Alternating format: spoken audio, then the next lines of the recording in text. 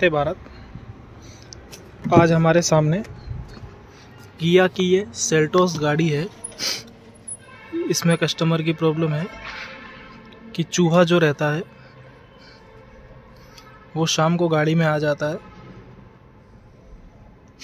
और सुबह निकल जाता है। तो दोस्तों, आप देख सकते हैं ये एसी का एयर फ़िल्टर भी ख़राब कर दिया है उसने। आज आपको दिखाएँगे कि इसमें जो चूहा जो अंदर आता है, वो कहाँ से आता है। ये आप देख पा रहे हैं दोस्तों। अपने जो वाइपर लगे रहते हैं गाड़ी के, उसके नीचे देखो एक प्लेट होती है। ये आप देख पा रहे हैं, उसने देखो काट, होल कर दिया है काट के। तो ये यहाँ से एंटर होता है। वैसे दोस्तों, कंपनी को इसमें जुगाड़ देना चाहिए कि इसको, इसमें एक जाली टाइप जैसे अभी हम इसमें जुगाड़ करेंगे, ये जाली इसमें यहाँ लगाएँगे।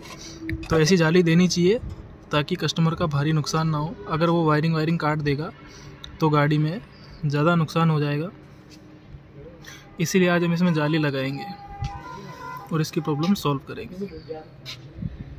ये आप देख सकते हैं, हमारे सलाम उस्ताद निशान लगाते हुए।